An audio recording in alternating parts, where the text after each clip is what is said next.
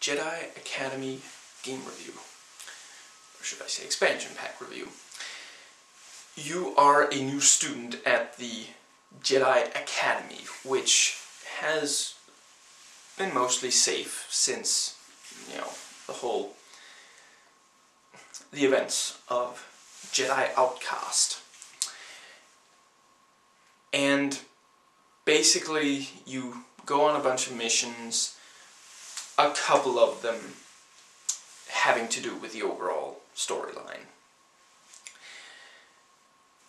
Which I'm not really going to get too much into because spoilers. Which I'm going to avoid here. The there are some basic attractions to this which deserve mentioning. You do go to a lot of different planets because pretty much every mission is just that mission, you know, it's they're all separate. And you yourself get to choose the order in which you go to them and it's like every time you've completed I think about four or five separate missions, you do another storyline mission. And because of this, you do get to explore, excuse me, some very different environments. Some of them are, you know, operated by remnant forces, so, you know, they have, like, you know, generators or various things there, you know, factories that you explore. There's one that's just like almost all sand. You know, there are, there are various ones. You can now also choose, in addition to just having a regular lightsaber, you can also go the Darth Maul route with, you know, double-bladed lightsaber, and you can also use you know, a lightsaber in each hand. And you don't even have to whine about how your master doesn't understand. The force powers are now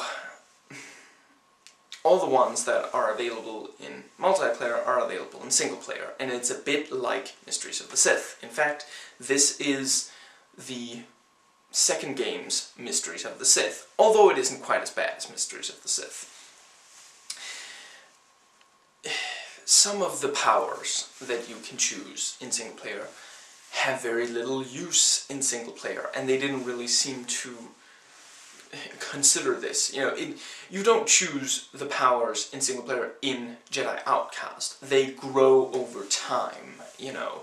So it makes sure that when you get to the level where you have to be able to jump, you know, I think it's eight times your own height or something, you can, because, you know, you couldn't have put those in the wrong one or something.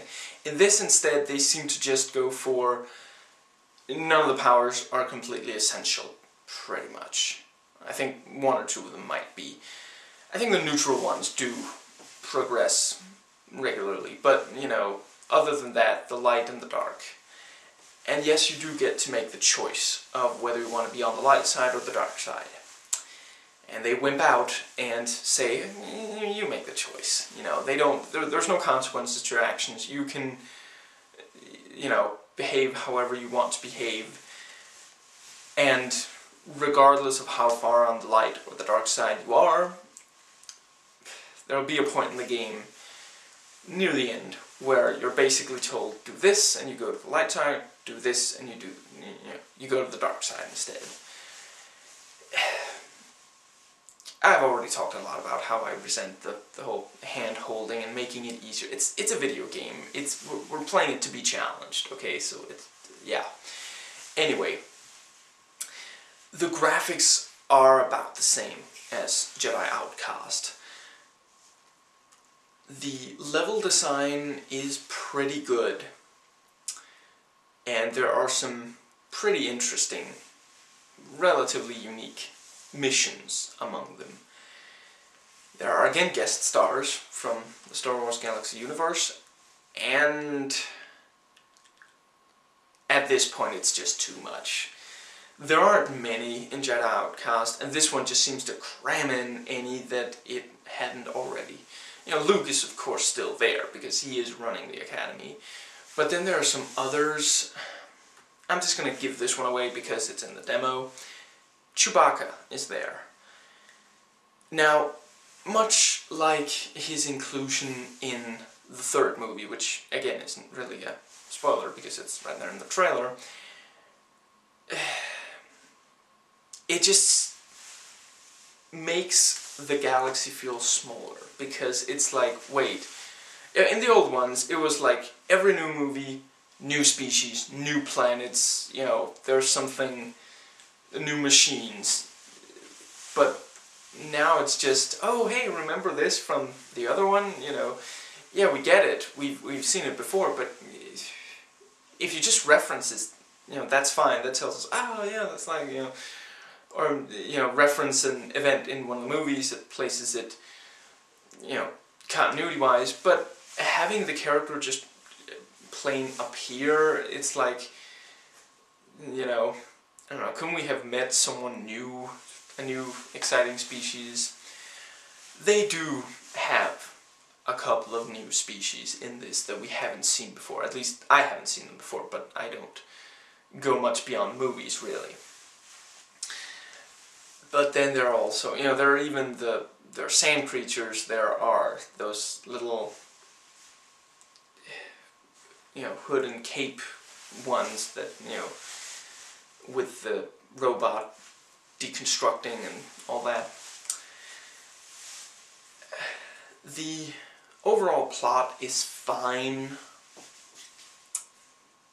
I don't know, it just isn't quite as interesting overall, I would say, as that of Jedi Outcast, and much less that of, you know, Jedi Knight itself.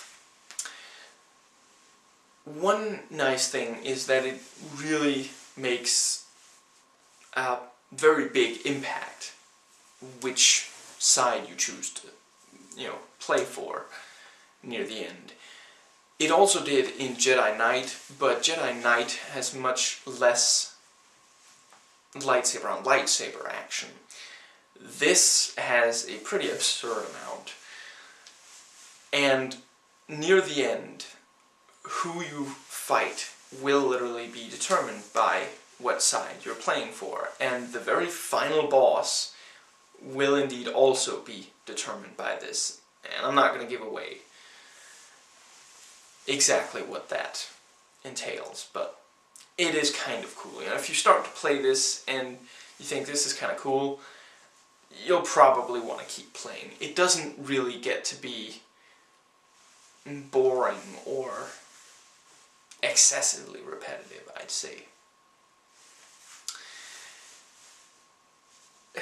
The game does have an okay length for a game, but overall it practically is just an expansion pack. You know, it's got the two new lightsabers. It's got, I think, two new weapons. You know, you've get you've got a new pistol, woohoo, and the concussion rifle has returned. That's about it. You know, the rest of the weapons are the same, and you know, your basic enemy is the same. Yeah, the graphics are the same. It's an expansion pack, let's be honest. Although you don't need you know, Jedi Outcast to play Jedi Academy. It does also add a couple of new multiplayer modes, such as, I think it's called Power Duel, which is where two players face off against a third player. And that's kind of cool. So yeah, overall, you know, if you really like the engine of Jedi Outcast and most of us do, you might like this one also.